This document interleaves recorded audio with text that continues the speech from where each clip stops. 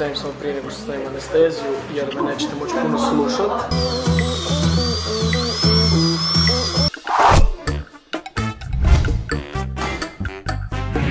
Ljudi, ja sam Davor i dobrodošli u moj novi video. Ovaj video neće biti zabavnog karaktera, neće biti smiješan, neće sadržavati nekakve zabavne dijelove, tako da e, samo vam to želim reći na početku ovog videa, ali ovaj video bit će poučan, bit će vrlo iskren i otvoren, nešto što prije tri godine i prije godinu dana nevjerojatnije ne bi snimio, ne bi podijelio sa internetom jer je bilo jako sram, ali ovo je jedna moja tajna koju puno ljudi ima i puno ljudi sa mnom dijeli ovaj problem, a, pogotovo na području Balkana i na ovom dijelu Europe, tako da ovaj video bit će posvećen tome. Prije nego što nastavimo sa videom, kliknite subscribe dole ako još niste i kliknite ono zvonce kako ne biste propustili niti jedan novi video. Nikad o tome nisam pričao javno, ali imam velikih problema sa zubima.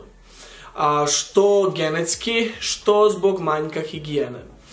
Naime, prije četiri godine, ja mislim da je bilo oko 4-5 godina, taman sam friško počeo snimati za YouTube, izgubio sam jedan zub. Tu nemam zub, e, nemam ga već dugo, naviku sam se bez njega. Da mi fali, fali mi zato što estetski ne izgleda lijepo, ali unazad dvije godine izgubio sam još jedan. Tako da sad sve skupa mi fale dva zuba koja su na jako vidljivom mjestu s obzirom da sam stalno ispred kamere, a, stalno se krećem negdje oko ljudi, shvatio sam da je to meni veliki problem. Osim što sam izgubio dva zuba, u ustima sam imao jako veliki problem i to je da sam imao 10 pokvarenih zuba. 10 pokvarenih i to onako kritično pokvarenih zuba koje nisam liječio niti popravljao od velikog straha zubara koji mi je nanjet time što sam kada sam izgubio ovaj prvi zub izgubio sam ga baš zbog pogreške svog prošlog zubara u Zagrebu i to mi je baš bilo strašno. Sa tom traumom sam se nosio nekoliko godina i kako sam došao u Sarajevo na preporuku sam se odlučio javiti Floss Glossu koji su mi pomogli stvarno jako puno u svemu tome.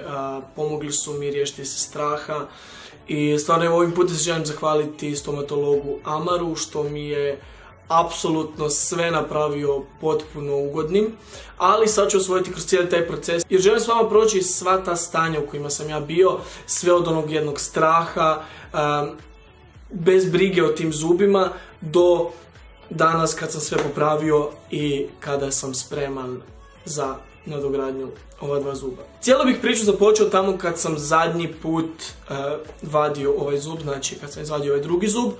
To je bilo u Njemačkoj, vadio sam ga zato što me bolio, zato što je već napuko, radio mi je velike probleme, bio je baš pokvaren i upaljen.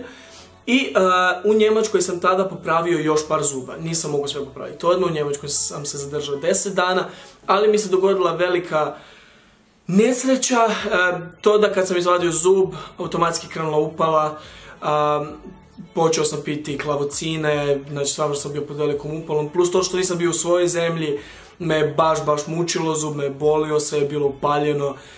I uglavnom taj cijeli proces mi je napravio još veću traumu od svega, stvarno sam se bojao. I bio sam u strahu, ok, ako me nekad boli zub, popijem tabletu, prođe me boli, to je to. Znaš, ono, iščetkaš ga dobro, ja sam znao da je pokvaren, ali koliko god sam ja njega pravio, ja nisam mogao isprati tu dubinski karijes koji se već uvukao. Kada sam došao u Sarajevo, kako sam počeo raditi, kako sam se počeo kretati oko ljudi koji svi stvarno imaju lijepe zube, e, koji su svi sređeni. Svi su mi pričali kao pa da pa imaš ovo mjesto, imaš ovog zubara, imaš onog zubara. No, kroz te nekakve šuplje priče koje bi ja rekao, koje sam čuo, da ovaj ti je divan, ovaj ti je super, ovaj ti je ovakav, ovaj ti je onakav, pa nemoj ići kod ovoga, pa ti treći kaže nešto, pa sedmi kaže ovo.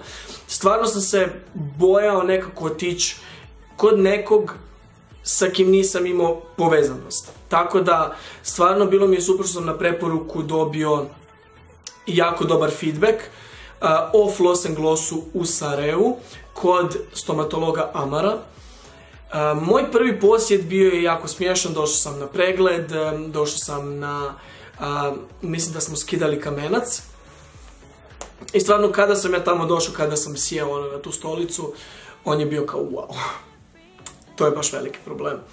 I stvarno s njim sam otvoreno popričao o tome koliko sam osjetljiv, koliko mi treba anestezija svaki put kad nešto radimo, kako ako me nešto boli da ću mu pokazati ću ruku. I on je bio skroz ok s tim, nije imao nikakav ružan pristup, nikad nije ništa silio.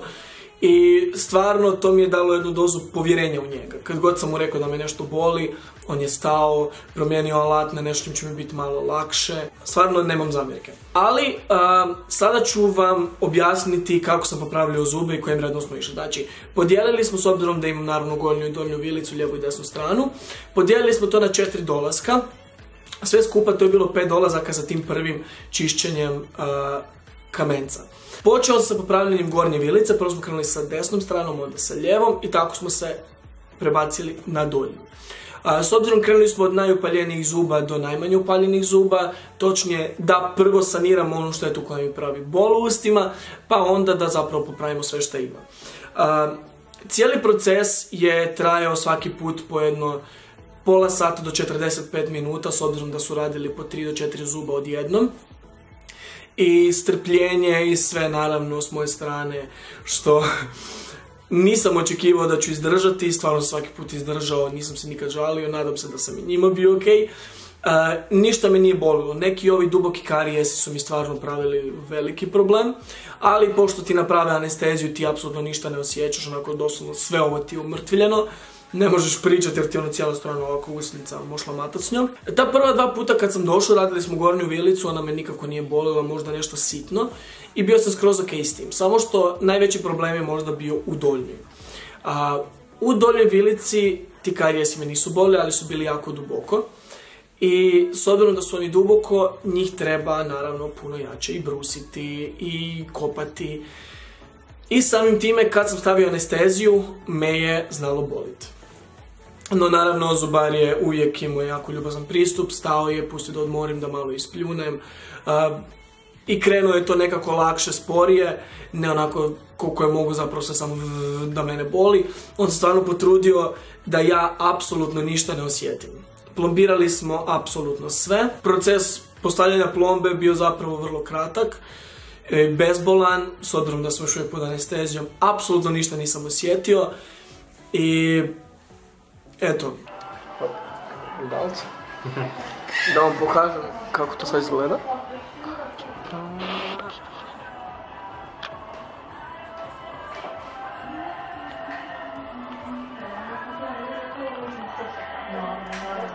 Ovaj video sam odlučio prvenstveno snimiti samo da vam svima pokažem kako je taj strah nekako trenutan i kako ga stvarno treba preći s obzirom da je higijena usne šupljine jako bitna i da se treba voditi računa o njoj.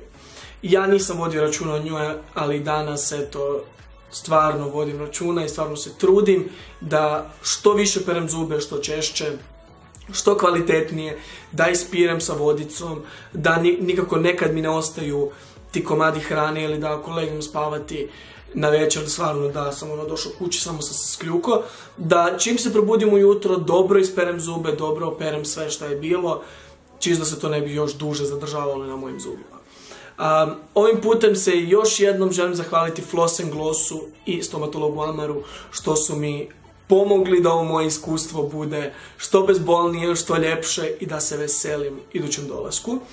Uh, ono što sam vas htio pitati je da li biste htjeli gledati kako izgleda proces postavljanja mostova s obzirom da nemam dovoljno mjesta za implant, a radit ću vezive mostove kako bi popunio ove rupe koje ovdje imam. Tako da se napokon mogu smijati punim osmijehom, a ne ko će ovaj mišić ovdje gdje su mi te rupe. Tako da, to me zanima, pišite mi to dole u komentarima i molit ću vas sve da odete na Instagram profil Flossing Glossa koji će biti dole u opisu. Nabacite im follow, polajkajte par objava, pokažite im malo ljubavi jer su mi ovo iskustvo napravili što boljim i svakako ako ste u Sarajevu ili ako ste iz Sarajeva ili okolice, uh, odite tamo, pregled je besplatan, tako da napravite svoj pregled, pogledajte da li šta možete popraviti, da li treba šta popraviti jer ako treba to napravite odmah i eto, imate moje najtoplije preporuke. To bi bilo sve od ovog videa. Hvala vam puno na gledanju. Nadam se da vam ova tema videa nije bila previše dosadna. ako želite još ovakvih videa, naravno bacite like. Nemojte zaboraviti nabaciti subscribe na moj kanal, klik dole i kliknuti zvonce kako ne biste propustili jedan novi video. Linkovi svih mojih društvenih mreža bit će u opisu, a mi se vidimo u idućem videu. Velika pusa!